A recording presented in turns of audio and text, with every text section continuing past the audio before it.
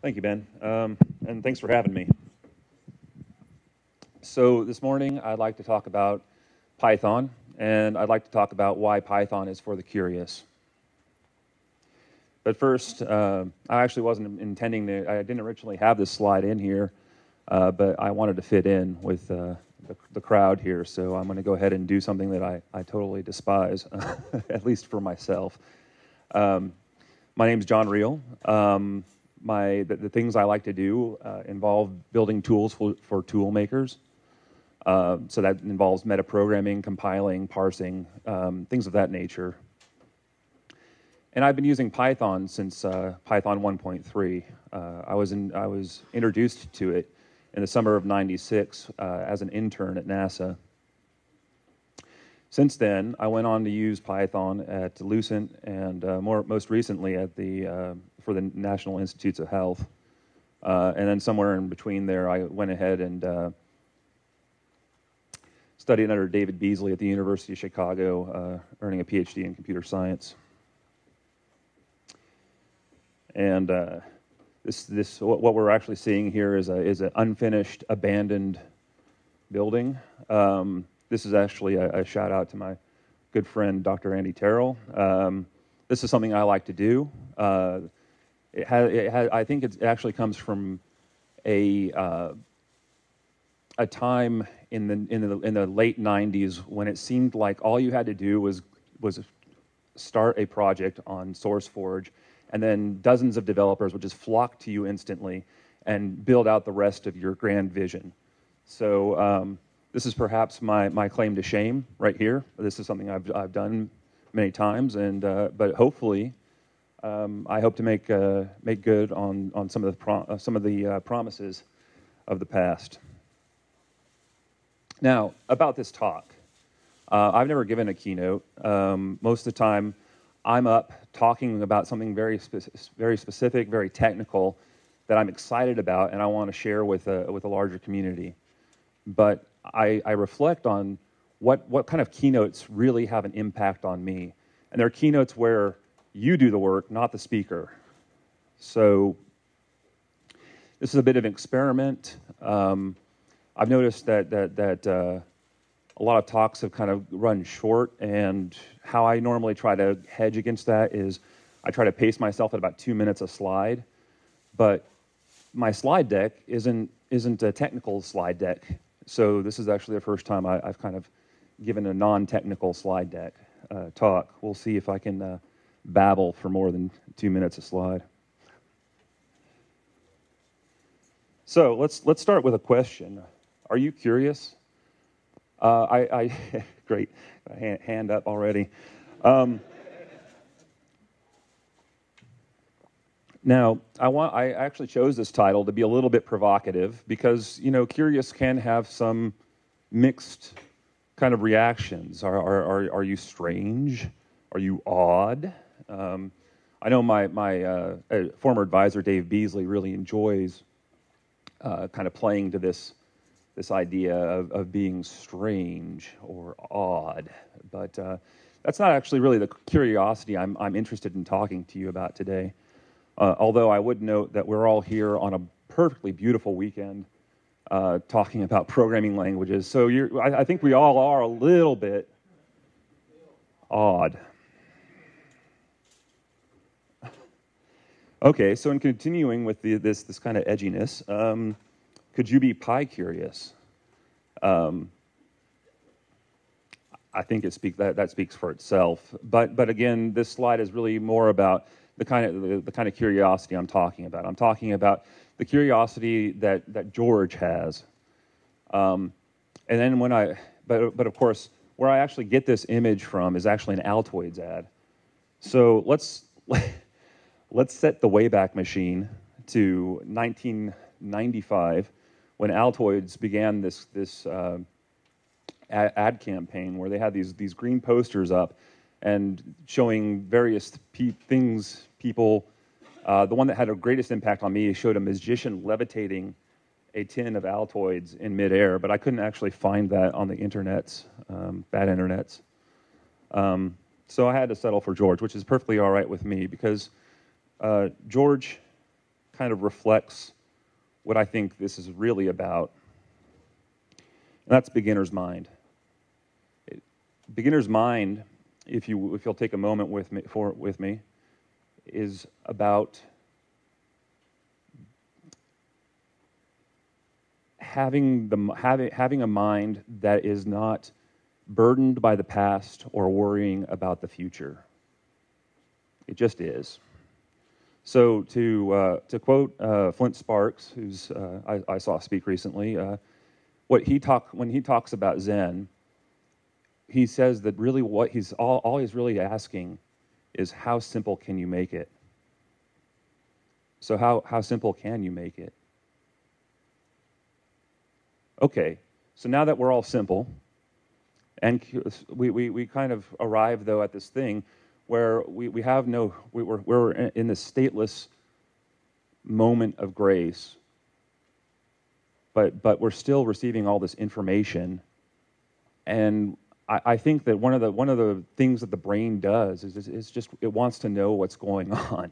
That's why we have this, this incredibly complex piece of machinery that actually incurs quite a bit of cost uh, biologically to, uh, to have and maintain.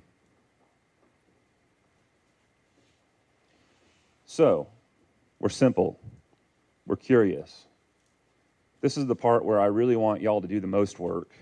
What is it you are curious about? Are you curious about the cosmos?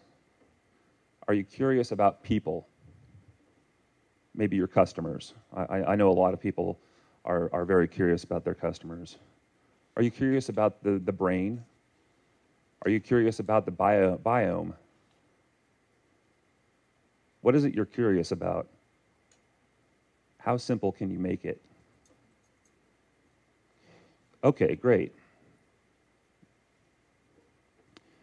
So we have this. We actually are going to have to break the rules a little bit. We're going to have to, have to go back and say, okay, well, there are we, we do have these patterns. We have these ways of dealing with finding out about things, and, and it largely involves a curious loop. So we try to abandon our prejudices from either our past experience or our future expectations and observe the world around us. And then just using those observations, we try to theorize or come up with some idea of what's, what's, what may be going on underneath the covers. Based on those theories, we can then create predictions. And then we can test those predictions in experiments, which generate more observations. And then we keep iterating in this loop. So, how we find out about things involves going through this loop, and how we find out about things in en masse means trying to tighten this loop and make it as, as fast as possible. Great. So that's where people like me come in. Uh, I, like, I like automating things, and we, we can have, have machines do this for us. So what we're looking at here is a microarray where you're doing 96 separate experiments all in one slide, and then you're and it's all done by machine by machines. Machines pick the reagents, they drop them in the in the uh, reaction tubules, and then they evaluate whether something interesting happened or not based on your criteria for in, for what is interesting.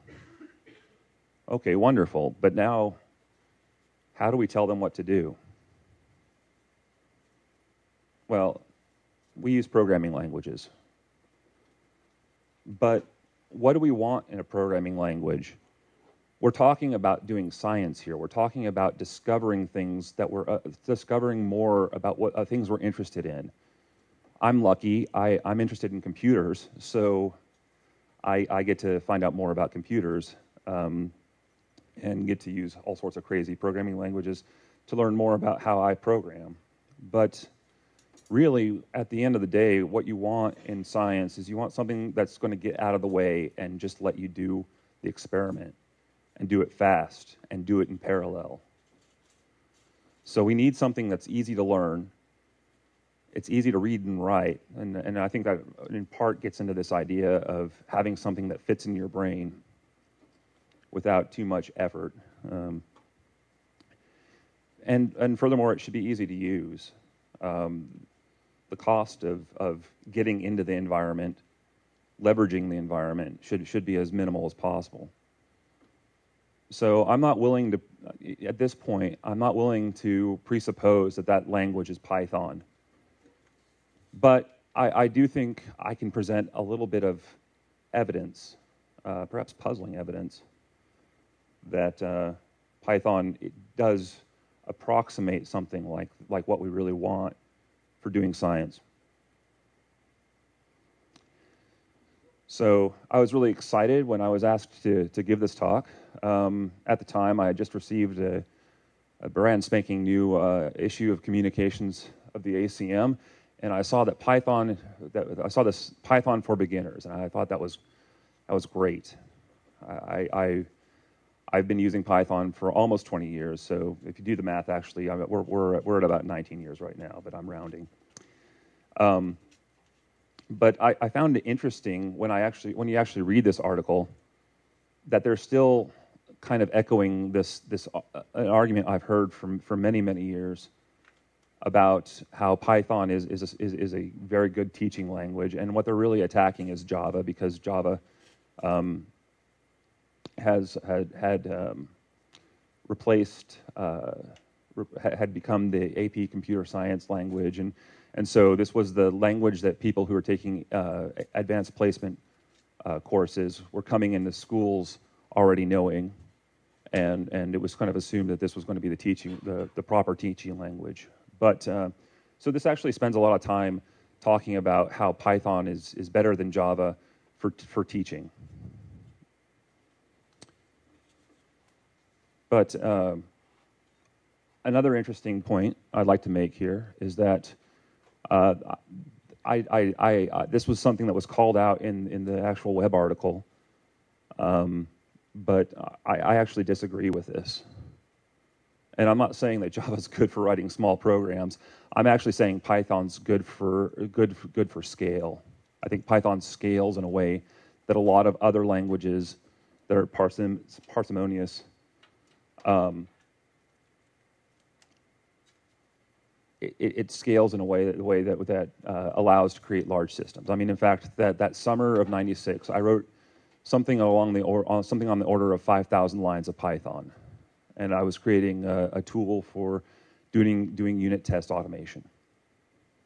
That included all sorts of stuff that hadn't, hadn't made it into the Python standard library at the time. I was parsing, I was instrumenting, um, I was reflecting, and we'll get to that later. So is, is Python easy to fit in your head? I, I think it is, and I, I, think it remains a very simple language. Um, the term in the, uh, that, has been thrown around the, in the community a lot is it's executable pseudocode. And I, I think that does hold. Uh, and this also comes up in the ACM article. I think that using white space to delimit blocks it, it, it does, does beginners a, a, a service. And with the right editor, uh, as a coder, you don't miss the braces at all. So it, it's easy to use.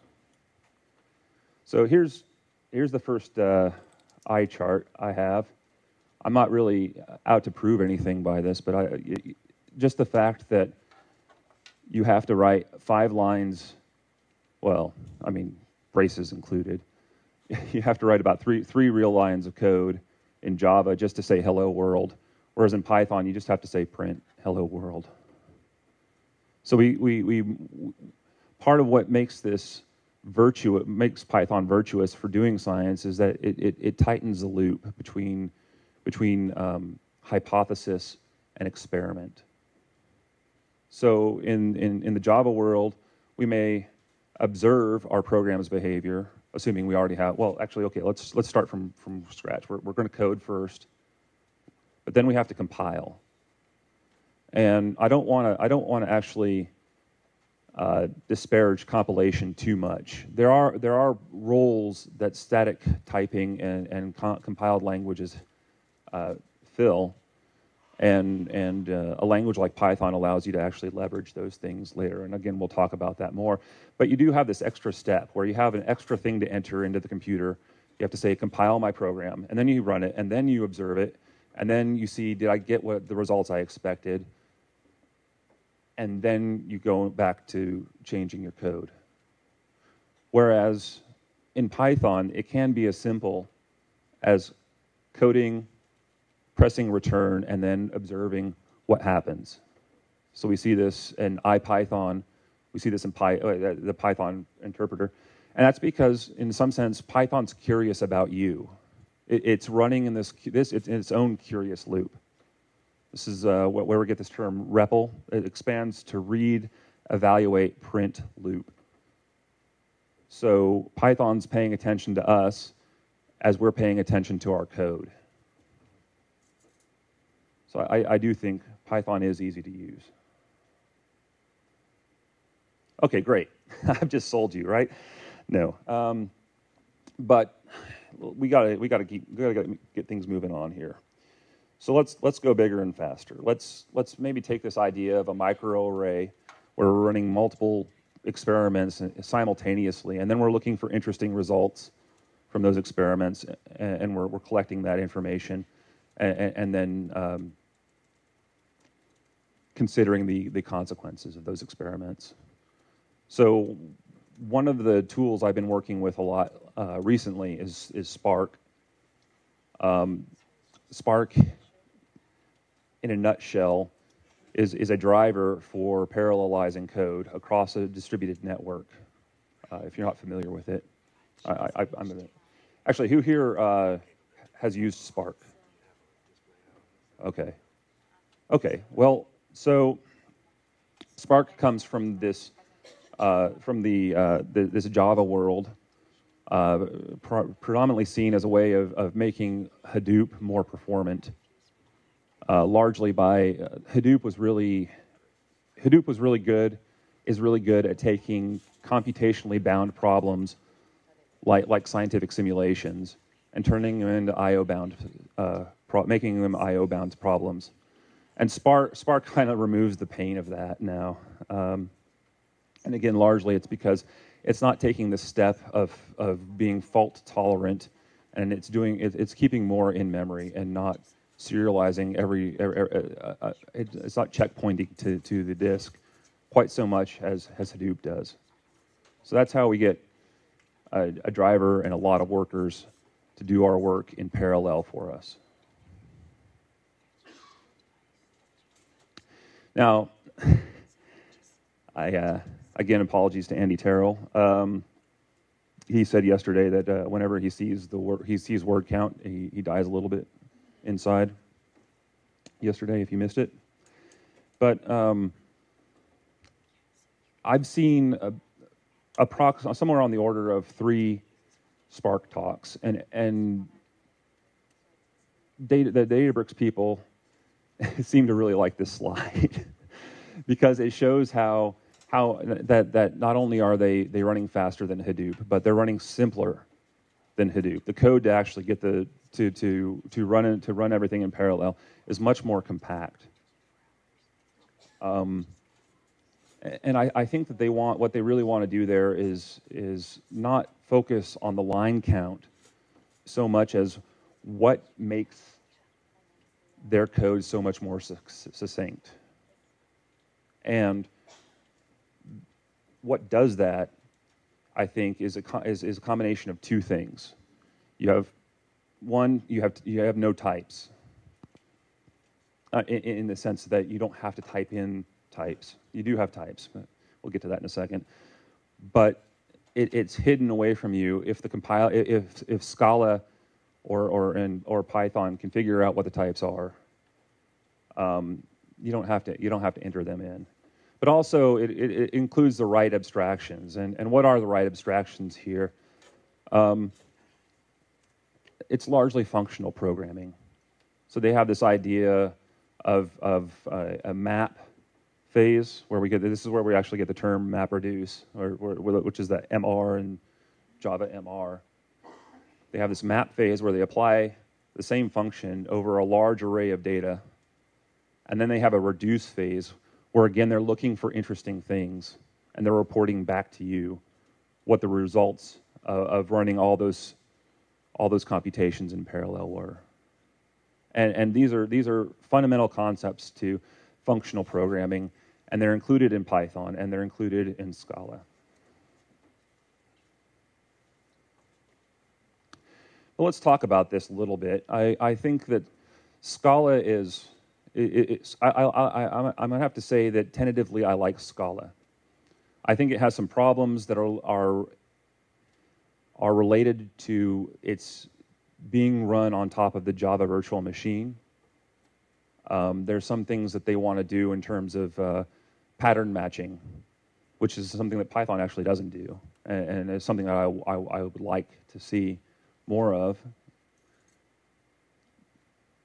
But um, another big difference, though, is that, that Scala is actually strongly typed. There, there is a, e even in its read, evaluate, print loop, it's, it, it's, it's running a little compiler, as is Python, actually. Python compiles to the Python virtual machine. Scala is compiling to the Java virtual machine. That's evaluating these virtual machines.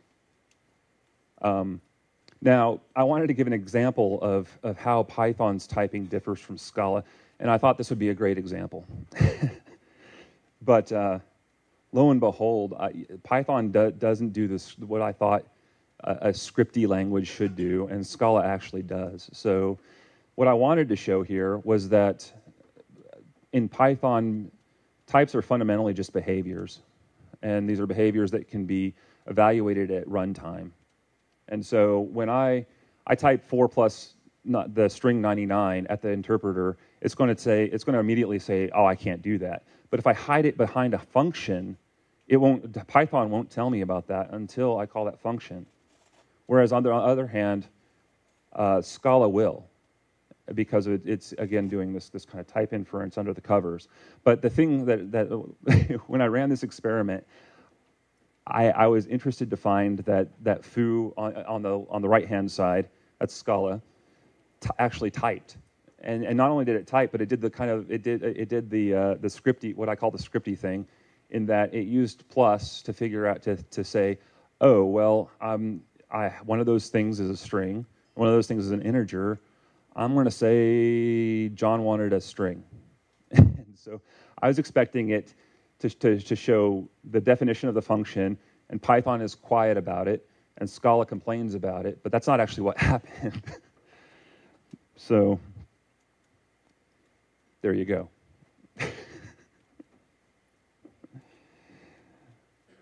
now, I'm actually not sure I explained this this entirely uh, too well, but uh, if you have questions about how behavioral typing differs from from a, a from a type inference, uh, I, am more than happy to talk about that ad nauseum.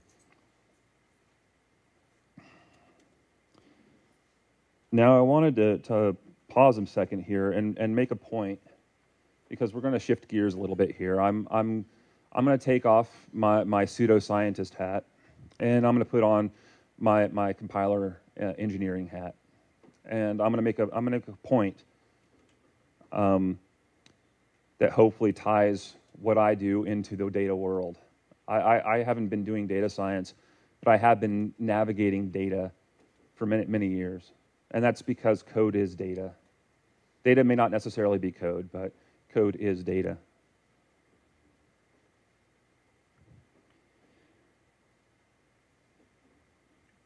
and so how do we look at that data? Python, Python and Java, and, and therefore Scala, give you these, this, this ability to do reflection and introspection. And what reflection is, is basically we are reflecting at the, at the language level what's going on inside the virtual machine. You have a way of, of, of querying your virtual machine and say, what's up? Um, and introspection gets into is just just just short of metaprogramming in the sense that what you're what you're having is a program reason about itself using reflection. So reflection alone just tells me what's going on. And introspection is when my program uses reflection to figure out what's going on and adapt appropriately. So I had this image here of a reflection, but um, I wanted to give you pointers into where, where, where, where to get started if you're interested in doing this in Python. So things like, like DIR, which is just a way of, of inspecting namespaces. The under under dict. Everything in Python's an object, and, and more often than not, the properties of those objects are up here in these dictionaries that you can, you can read and navigate through. The compiler itself is actually reflected out to the surface language, as is the parser. And finally, if you're really interested in seeing what's going on under the covers, you can use dis, which is a disassembler. And it takes, you can, you can just hand it a Python function, and it tells you what bytecodes are actually being used at the virtual machine level to run that, to run that function or that program. And so this, this begins to get into a space of data exploration. Um, I really wish I had more time. I, I think we all do. Um, and what I mean by that is a time, time to explore how to represent information in a succinct and useful way. So what I'm, I'm showing here is, is really what I kind of think of, of as a culmination of, of reflection and introspection. This is an object browser. I'm, I'm sorry for the eye chart. I was looking for a better example, but um, I couldn't I couldn't find it. So I, I just went with with the simple thing that, that that popped up. But what we're looking at here is we're looking at an object browser in Python that represents objects in a namespace as a tree that you can navigate through. And it, this this is it's done lazily, so so you can navigate through this information. Um, without uh, worrying about it loading all your, your program state in at once. I wanted to maybe demonstrate some of this stuff. So let's do a little demo here. I wanted to look at, look at my, my stuff. I'm going to start up the Python interpreter. I'm going to, I'm going to show you what I'm talking about here. Okay, great. So that's DIR. That tells me what the top level namespace, what's going on there. So let's, we don't have much going on in there. Most of the fun's in built-ins if you're, if you're curious. But let's, let's import a module. Let's import the parser. I like the parser. I, I like writing parsers. Uh, this one happens to be rather fast. But now we can ask, What's going on there? Oh, well, we have, we have stuff. We have uh, this AST type, which is an abstract syntax tree. It's uh, a high level representation, but still machine readable um, version of your code. Uh, we have a, probably an exception there, uh, type that probably that actually aliases to AST type, and then we have a few we have a few functions down below that, that mutate that, that get us into this space of uh, taking code and getting abstract syntax out. So let's go ahead and look at that. Yep. This is an IPython.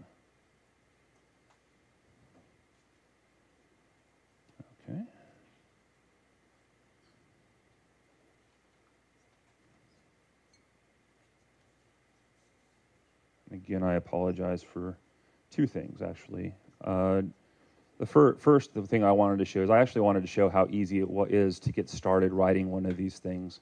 And I, I think that speaks to the power of Python's uh, reflection and introspection.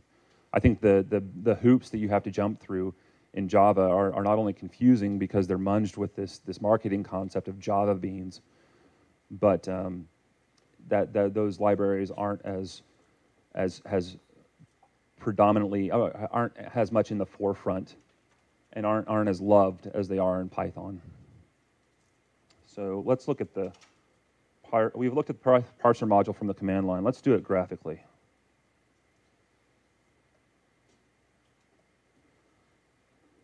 So again, if I was if I was writing this, I would actually make this a lot larger so I could show you everything. And, and uh, um, I seem to recall at some point there being a, a, a if you're not familiar with uh, Tkinter, that's a, a, a GUI package, uh, one of the first ones that's uh, shipped with Python since I got started with it.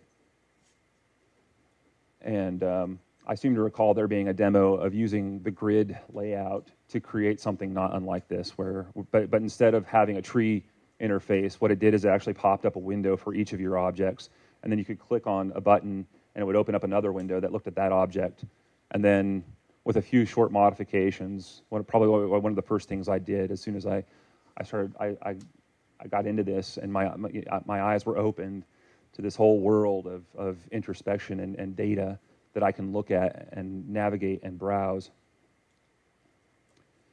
Um, it was easy to modify it so that I only opened up one window per object rather than creating a window every time you clicked a button. It would say, do I already have a window up for this button, for, for this object? And it would bring it to the, to the foreground. But this is a little bit more sophisticated. It, it uses a, a, more sophisticated uh, widget tool set uh, specifically, this is uh, using uh, Qt via PySide. And again, we can just go through this stuff ad nauseum. See if we can get to the code. No, I'm not going to do that. Okay, fair enough. But that's object browsing. That's, that's a way of navigating data it's well structured. It's not it's not semi-structured or unstructured. So my job's a little easier. Although I do work with with parsers, so you do have concrete syntax, and that that that is creating structure from a, from unstructured input. So great, we have this ability to introspect. We have this way of reasoning about what what there is. We have this way of running uh, uh of creating more very easily, and we have, the, have a way of, of iterating quickly on our experiments. But one of the great things about, about being a compiler uh, geek is, is, that fractions of seconds still can still ha- can have a big impact on how long it takes a piece of code to run when you're running millions of computations in parallel. And so that's that's why I've spent a lot of time uh, re- more recently working on the Numba project. But um, there's, there's a whole ecosystem of tools out there that once you have your code, once you have your initial experiment set up, you can say, oh, well, I want to take this and I want to make it, I want to go large with it, and I want to go fast with it. So you can get your results faster. So here I just I just shout out a few things that came off came up to the top of my head. This is no way meant to be comprehensive, but uh, NumPy gets you a good boost when you're doing numerical computations on vectors or uh, multidimensional arrays. I think um, PyPy is, is, is interesting and it's going to continue to be interesting, uh, particularly since uh, it was announced most recently at PyCon that they, they have a story now for including uh, extension modules, which was really one of the, one of the things that was keeping PyPy out of this, this numerical land. Uh, and actually, it was that that it was that uh, gulf that I think led to the development of the Numba project. Um, Cython is is a great tool. Um, it's a way of taking your existing Python code and then creating C code from it, and then compiling that with a little bit, excuse me, with a little bit more markup of your code. You can actually start optionally typing bits of it and, and seeing in not, not just speed up, but very impressive speed up. Because perhaps I should have mentioned this at the beginning, why Python gets you that, that tight loop of, of the read eval print is it's, it's, is it's hitting a virtual machine. It's not actually creating a, a um, machine code. And so it, it, embedded in that loop is, is yet another loop of, of of interpretation. And that, that the rule of thumb with interpretation is that's going to give you an order of magnitude slowdown. So what we want to do is we want to take these high level languages and we want to make them go as fast as the lower level languages. And Cython is, is a good way of, of getting into that space without actually having to write C. But if you're interested in writing C or C++, we also have tools for integrating that, those code bases into Python. So we have CFFI, we have Swig. Um,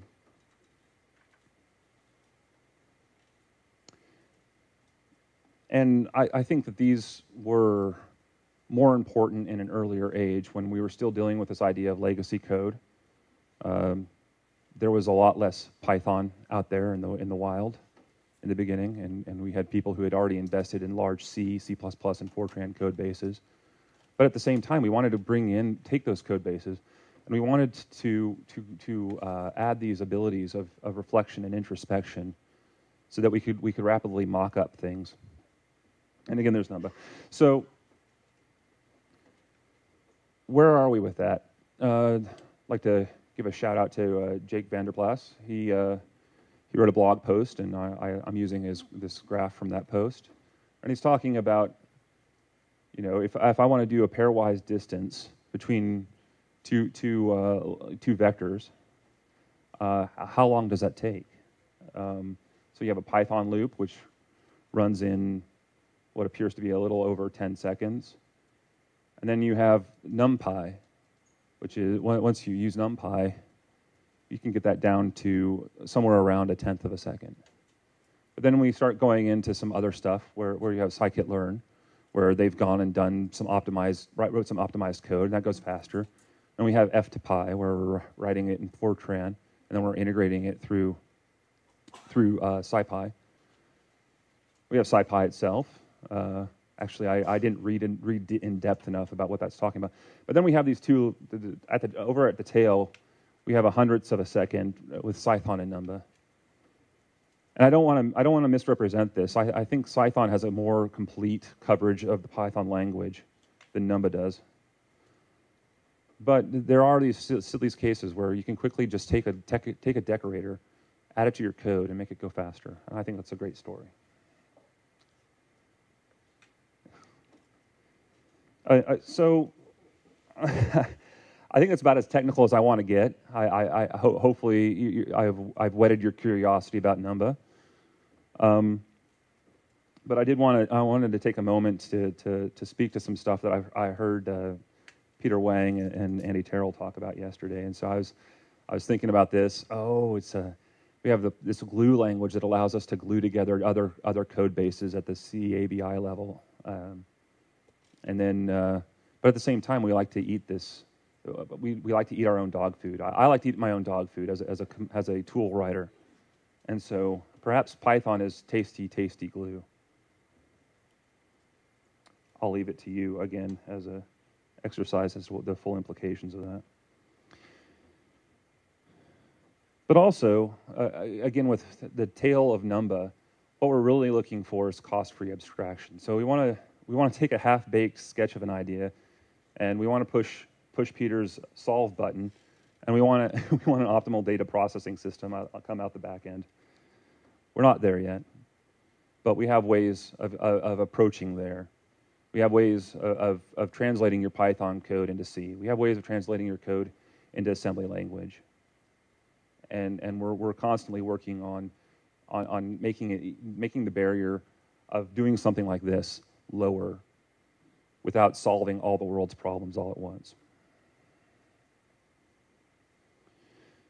I wanted to quickly mention that one the, another thing you get with Python is, is, is batteries, but where those batteries come from, and uh, okay, so batteries are included. That was that was an old sales pitch for Python, um, and what that means is that Python has a lot of stuff in it already in the standard library. If you want to, if you want to write a, a, HTTP server, it's it's a one-liner. Um, in fact, you can do it from the command line at this point.